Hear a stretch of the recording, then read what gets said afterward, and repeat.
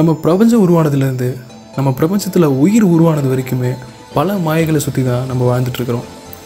இப்படி நம்மளால் புரிஞ்சிக்கவே முடியாத பல மாயைகள் இந்த யூனிவர்ஸ்லேயும் சரி இந்த கேலக்சிஸ்லேயும் சரி இருக்குது இப்படி மனிதர்களால் அண்டர்ஸ்டாண்ட் பண்ணிக்கவே முடியாத பல மாயைகள் இந்த பிரபஞ்சத்தில் இருக்குது ஆனால் இந்த உலகத்தில் மனிதர்களால் அண்டர்ஸ்டாண்ட் பண்ணக்கூடிய சில மாயைகளை பற்றி தான் அதாவது இல்யூஷன்ஸ் பற்றி தான் இந்த வீடியோவில் நம்ம பார்க்க போகிறோம் so this is Scientifically in Tamil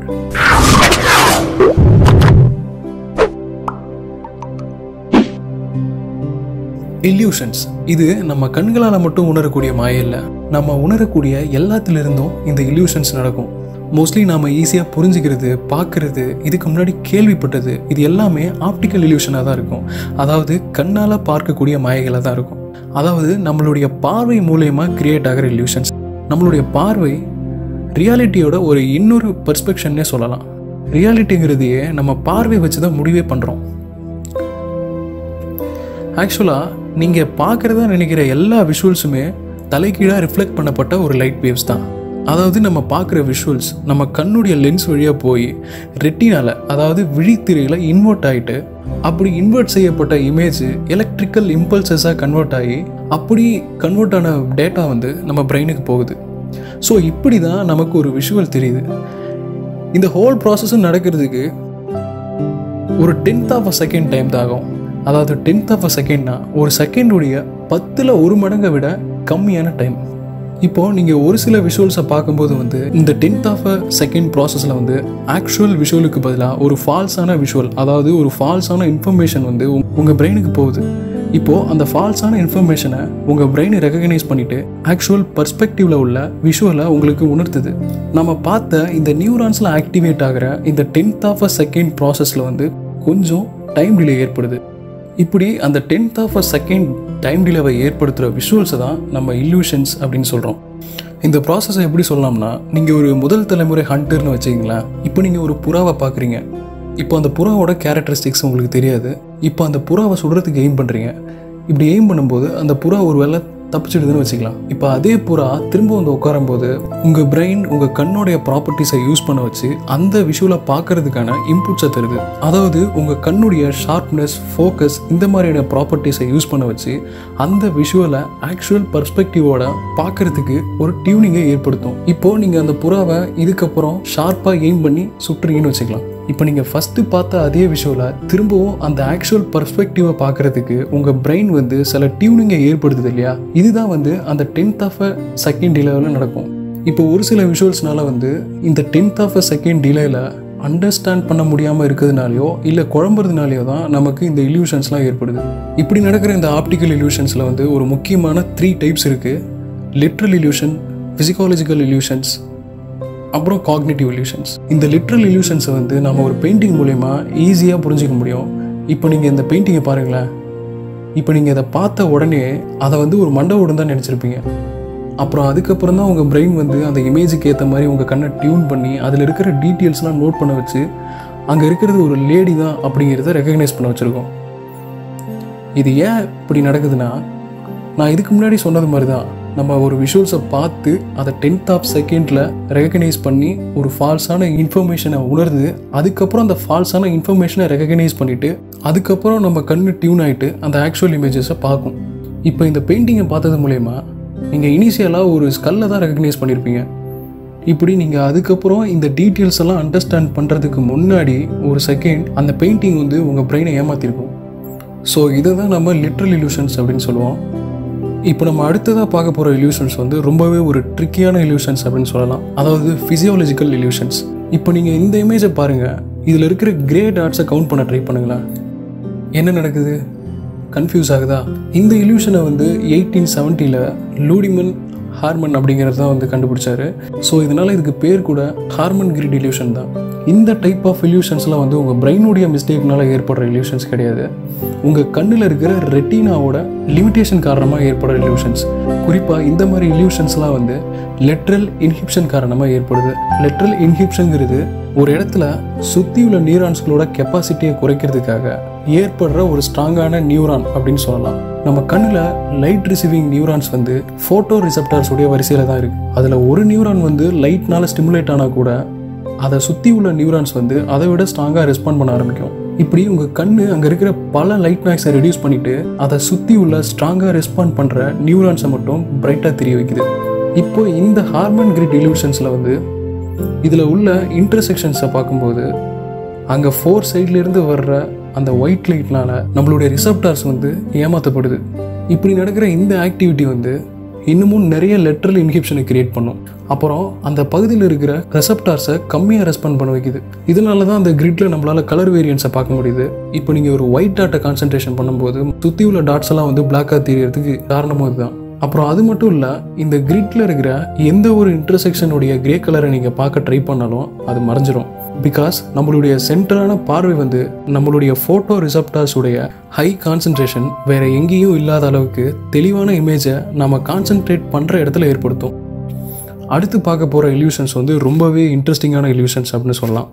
ஏன்னா இந்த இல்யூஷன்ஸ் வந்து உங்கள் கண்ணிலிருந்து இல்லை உங்கள் பிரெயினுடைய விஷுவல் ப்ராசஸிங் யூனிட்லேருந்து ரொம்ப தொலைவில் நடக்கிற ஒரு இல்யூஷன்ஸ் தி காக்னேட்டிவ் இல்யூஷன்ஸ் இந்த இல்யூஷன்ஸ் வந்து நீங்கள் பார்க்குற இமேஜ் பற்றின உங்களுடைய அண்டர்ஸ்டாண்டிங்ல இருந்தும் இந்த உலகத்தை பற்றியும் அதோடைய ஃபிசிக்ஸ் பற்றின அண்டர்ஸ்டாண்டிங்ல இருந்தும் ஏற்படுற இல்யூஷன்ஸ் இப்போ நீங்கள் பார்க்குற இந்த இமேஜில் இருக்கிற ஸ்டயர் காஸ் வந்து பென்ட்ரோ ஸ்டயர் காஸ் அப்படின்னு சொல்லுவாங்க. இந்த இமேஜில் இருக்கிற மாதிரி இந்த ஸ்டயர் காஸ் வந்து நடைமுறைக்கு பாசிபிலிட்டியே இல்லாத ஒரு கன்ஸ்ட்ரக்ஷனால் வரையப்பட்ட ஒரு பெயிண்டிங் தான். இப்படி ஒரு ஆப்ஜெக்டை ஃபிசிக்கலாக கன்ஸ்ட்ரக்ட் பண்ணவே முடியாது. இந்த ஆப்ஜெக்டில் வந்து நீங்கள் எப்பயுமே கீழேயோ இல்லை மேலேயோ தான் போயிட்டுருப்பீங்க இப்போ இந்த ஸ்டயர் காஸில் ஒரு ஃபாதர் அண்ட் சன் கான்செப்ட் எடுத்துக்கலாம். அதாவது இந்த சைட்லேருந்து ஒரு ஃபாதர் வந்து படிகளை எந்த சைடு கட்டுறாரு. அந்த எண்ட்லேருந்து ஒரு சன் வந்து படியில் எந்த சைடில் கட்டுறாருன்னு வச்சுக்கலாம். இப்போது அதோடைய கனெக்ஷன்ஸ் வந்து ரொம்பவே கான்ஃப்ளிக்டானதாக இருக்கும். அதாவது ஒரு ஏற்றுக்கொள்ளப்பட முடியாத இல்லைன்னா பாசிபிலிட்டியே இல்லாத ஒரு கனெக்ஷனாக தான் இருக்கும். இப்படி ஒரு ஃபிசிக்கல் ஸ்ட்ரக்சருக்கு பாசிபிலிட்டிஸே இல்லைங்கிறத வந்து உங்கள் பிரெயின் வந்து யோசிக்காது. ஆனால் அந்த இமேஜை பற்றின கான்செப்டை யோசிச்சு அதில் இருக்கிற கனெக்ஷன்ஸ் வந்து எப்படி உருவாச்சுங்கிறத மட்டும்தான் உங்கள் பிரெயின் யோசிக்கும். ஸோ இதே மாதிரி தான் இப்போ நீங்கள் பார்க்குற இந்த இம்பாசிபிள் ட்ரையாங்கலும் ப்ராக்டிக்கலாக இந்த மாதிரி ஒரு டிசைனை பில்டு பண்ணவே முடியாது. ஆனால் அதை பற்றி உங்கள் மைண்டு யோசிக்காது. அது எப்படி கனெக்ட் ஆகிருக்கு அப்படிங்கிறது மட்டும்தான் உங்கள் பிரெயின் யோசிக்கும். ஸோ இதில் தான் நம்ம காக்னேட்டிவ் ரிலேஷன்ஸ் அப்படின்னு சொல்லுவோம். ஸோ இதுதான் இது வரைக்கும் நம்மக்கிட்ட உள்ள ஆப்டிக்கல் இல்யூஷன்ஸை பற்றின முக்கியமான தேரிஸ் ஸோ இந்த மாதிரி ஆப்டிக்கல் இல்யூஷன்ஸ்லாம் வந்து நமக்கு நேச்சராக கூட தோணும். அதாவது இந்த சம்மர் டைமில் நீங்கள் ரோட்டில் நடந்து போகும்போது அங்கே தண்ணி நிற்கிற மாதிரி ஃபீல் ஆகும் இல்லையா? அதாவது இந்த காணல் நீர். இதெல்லாம் வந்து நேச்சுரலாக தெரிகிற ஆப்டிக்கல் இல்யூஷன் சொல்லலாம். இப்போ நீங்கள் தூரத்துலேருந்து ஒரு கயிறை பார்த்துட்டு பாம்புன்னு நினைக்கிறது காற்றுல ஆடுற தாத்தாவோட வேட்டியை பார்த்துட்டு பேயின்னு நினைக்கிறது இது எல்லாமே இந்த ஆப்டிக்கல் இல்யூஷன்ஸில் தான் வரும். அப்புறம் அந்த வீடியோட எண்டில் வந்து நீங்கள் டென்ஷன் ஆகிற அளவுக்கு சில ஆப்டிக்கல் இல்யூஷன்ஸ் இமேஜஸ்லாம் நான் வந்து கம்பேர் பண்ணி வச்சுருக்கேன். மிஸ் பண்ணாமல் வீடியோட எண்டை முழுசாக பார்த்துருங்க. அதாவது நம்ம ஒரு இல்யூஷனில் தான் வாழ்ந்துட்டுருக்குன்னு சொல்லலாம். அதாவது எப்படின்னா நம்ம டெய்லியுமே நம்மளோட வாழ்க்கையில் ஒரு இல்யூஷன் வந்து நம்மக்கிட்ட நான் தெரிஞ்சோ தெரியாமலே நடந்துகிட்ருக்கு அதாவது என்னென்னா நீங்கள் தேட்டர்லேயோ இல்லை ஃபோன்லேயோ ஒரு வீடியோ பார்க்குறீங்கன்னா அந்த வீடியோவில் வர்ற கேரக்டர்ஸ் வந்து பேசுகிற மாதிரி ஃபீல் பண்ணுவீங்க. அதாவது அந்த கேரக்டர்ஸோடைய வாயிலேருந்து சவுண்ட் வர மாதிரி ஒரு ஃபீல் பண்ணுவீங்க. ஆனால் ஆக்சுவலாக அதுலேருந்து வராது நமக்கு ஸ்பீக்கர்லேருந்து தான் சவுண்ட் வரும். அது நமக்கும் தெரியும். இருந்தாலும் அது கூட நம்ம அந்த கேரக்டர் கூட ஜிங்க் ஆகி நம்ம அந்த வீடியோவையோ அந்த மூவியோ பார்ப்போம். ஸோ இதெல்லாம் வந்து நமக்கே தெரியாமல் நடக்கிற இல்யூஷன்ஸ் இந்த மாதிரி இல்யூஷன்ஸ்லாம் வந்து மனுஷங்களுக்கு மட்டும் நடக்காது விலங்குகளுக்கும் பறவைகளுக்கும் கூட நடக்கும். வயல்லலாம் வந்து இந்த சோளக்காட்டு பொம்மை வச்சுருப்பாங்க பார்த்துருப்பீங்க. அதை வந்து நம்ம பறவைகள் வந்து பார்த்துட்டு அங்கே உண்மையாலுமே மனுஷன் நிற்கிறேன்னு நினச்சிட்டு அது வந்து பயந்து ஓடிடும் ஸோ இதெல்லாம் வந்து பறவைங்களுக்கு நடக்கிற இல்யூஷன்ஸ் இந்த ஆப்டிக்கல் இல்யூஷனை தவிர்த்து மற்ற இல்யூஷன்ஸ் அதாவது நம்ம பயாலஜிக்கலாகவோ ஃபிசிக்கலாகவோ உணர்கிற இல்யூஷன்ஸ் இப்போ நம்ம கேட்டல் திறன் மூலயமா அதாவது கேட்குறது மூலயமா உணர்கிற மாயை அந்த இல்யூஷன்ஸ் வந்து ஆடிட்டரி இல்யூஷன்ஸ் அப்படின்னு சொல்லுவாங்க. இப்போ நீங்கள் ஒருத்தர்கிட்ட ஒரு வார்த்தையை சொல்லும்போது அந்த வார்த்தையை அதை கேட்குறவங்க தப்பாக ரெக்கக்னைஸ் பண்ணுறது அதாவது அது லிப்ஸிங்க்னாலேயோ இல்லை ஸ்பெல் பண்ணுற ஸ்பெல்லிங்ஸ்னாலேயோ வேறு மாதிரி வேர்டாக ரெக்கக்னைஸ் ஆகிறத வந்து நம்ம ஆடிட்டரி இல்யூஷன் சொல்லுவோம். இதை வந்து ஒரு ஹிஸ்டாரிக்கல் எக்ஸாம்பிள் மூலிமா நம்ம ஈஸியாக பார்க்கலாம். சிலப்பதிகாரத்தில் அரசர் வந்து காவலாளிகிட்ட போய் கோவலனை கொண்டு வா அப்படின்னு சொல்லியிருப்பாரு. அந்த காவலாளி அதை தப்பாக ரெக்கக்னைஸ் பண்ணி கொண்டு வாங்கிறதுக்கு பதிலாக கொன்று வந்துடுவார் அதாவது அவனை கொலை பண்ணிட்டு வந்துடுவார் இந்த இடத்துல அந்த கொண்டு கொன்று இப்படிங்கிற ஒரு ப்ரொனன்சியேஷன் ரெக்கக்னைஸ் வந்து தப்பாக நடந்ததுனால அங்கே ஏற்படுற இல்யூஷன்ஸ் அதாவது இதெல்லாம் வந்து ஆடிட்டரி இல்யூஷன்ஸ் அப்படின்னு சொல்லுவோம்.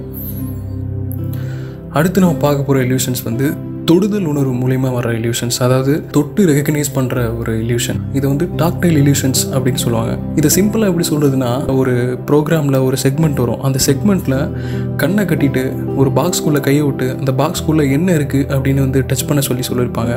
அதுக்குள்ளே நார்மலான பொருள் தான் இருக்கும். ஒரு அன்னாச்சி பழமோ ஒரு செடியோ தான் இருந்திருக்கும். ஆனால் அதை அவங்க தொட்டு ஸ்கேரி திங்ஸ்னு நினச்சி பயந்துருப்பாங்க.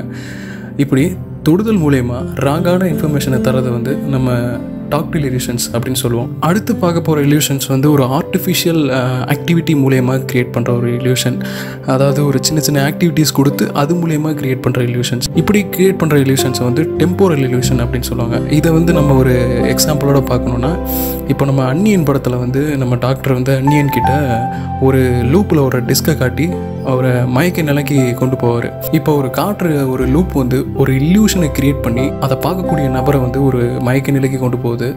இதை வந்து நம்ம டெம்போரல் இல்யூஷன்ஸ் அப்படின்னு சொல்லுவோம்.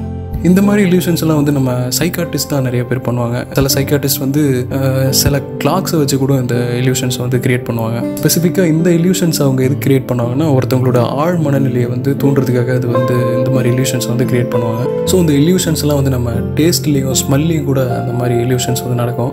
இப்போ டேஸ்ட்டில் நடக்கிற இல்யூஷன்ஸ் வந்து நம்ம எப்படி பார்க்கலாம்னா இப்போ நம்ம நெல்லிக்காயை சாப்பிட்டு தண்ணி குடிச்சோன்னா இனிக்கிற மாதிரி ஒரு ஃபீல் வரும். ஆக்சுவலாக நெல்லிக்காய்ங்கிறதும் ஒரு இனிக்கிற பொருள் கிடையாது. தண்ணிங்கிறதும் ஸ்வீட்டான பொருள் கிடையாது. பட் பட் அங்கே இனிக்கிற மாதிரி ஒரு இல்யூஷன் வந்து நமக்கு டேஸ்ட்னால் க்ரியேட் ஆகிறது தான் ஸோ இதெல்லாம் வந்து நம்ம டேஸ்ட்னால க்ரியேட் ஆகிற இல்யூஷன்ஸ் அப்படின்னு சொல்லலாம்.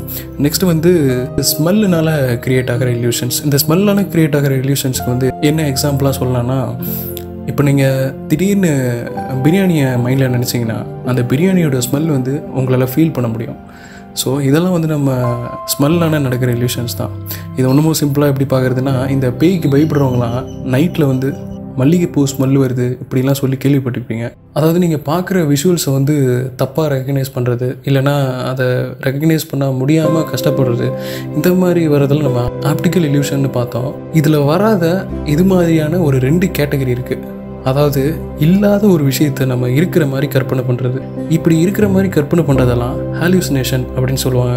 அதாவது இதை சிம்பிளாக எப்படி சொல்கிறதுனா நம்ம த்ரீ படம் பார்த்துருப்போம். த்ரீ படத்தில் வந்து தனுஷ்க்கு அடிக்கடி ஒரு பொண்ணோட இமேஜும் ஒரு ஒரு சாமியாரோட இமேஜும் வந்து வந்துட்டு போவோம் ஸோ இதெல்லாம் வந்து இந்த ஹாலியூசினேஷனால் நடக்கிறது தான்.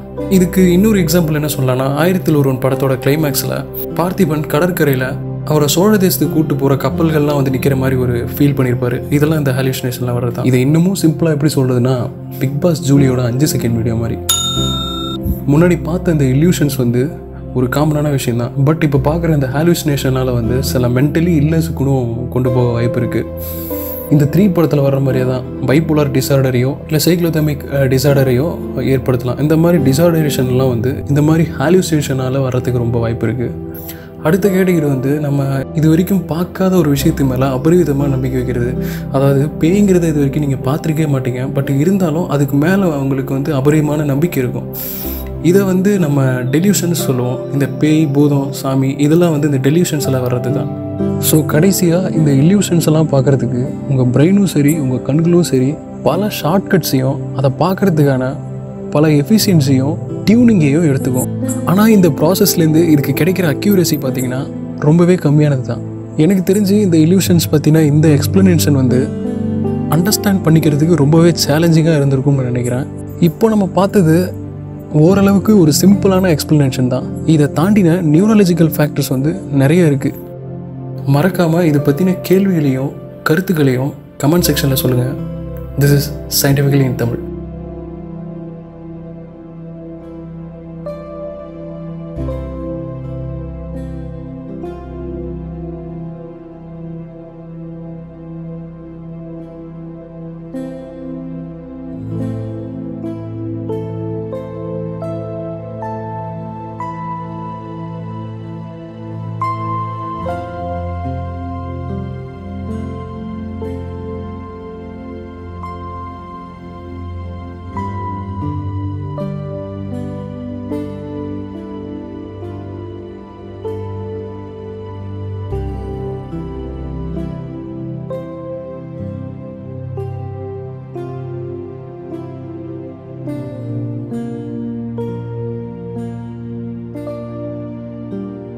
இது மாதிரியான சயின்டிஃபிக்கலி வீடியோ பார்க்குறதுக்கு சயின்டிஃபிக்கலி சப்ஸ்கிரைப் பண்ணுங்கள் அப்படியே லைக் ஷேர் அண்ட் கமெண்ட் பண்ணிடுங்க தேங்க்ஸ் ஃபார் வாட்சிங்